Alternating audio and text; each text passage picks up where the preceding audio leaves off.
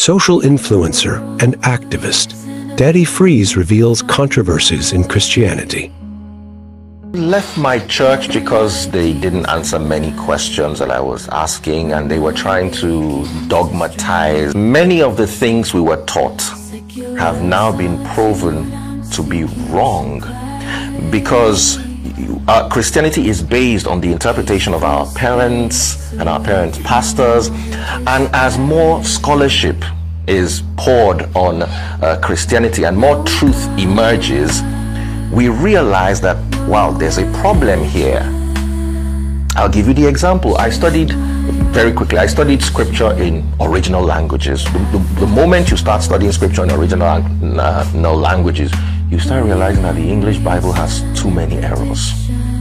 I'll give you one the word Lucifer. Lucifer is a Latin word. Before we had the English Bible, the only Bible the world had was the Latin Bible. Mm-hmm. Let's remember the New Testament was originally written in Greek, then translated to Latin.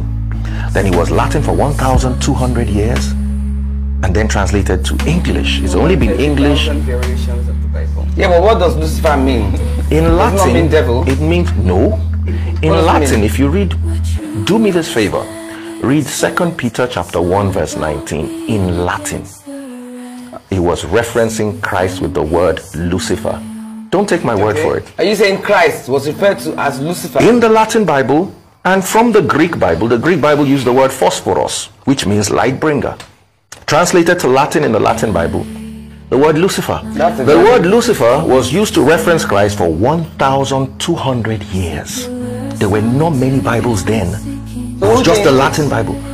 Started with King James. If you read the original Latin Bible, the word Lucifer was used four times. Men changed it. Twice in the book of Job, once in Isaiah chapter 14, verse 12, and once in the New Testament. Yeah, Second, yes, only once. In, they, they took out of the four instances, they retained only one. And that's Isaiah chapter 14, verse 12. Oh, how you are fallen from heaven, oh Lucifer, which we now know today was not even talking about the devil, was clearly referencing the king of Babylon. The problem is they all came from the Latin Bible, the first authorized English translation in uh, 1611, if I'm correct, was the King James Bible. Mm -hmm. So they all came after the King James Bible.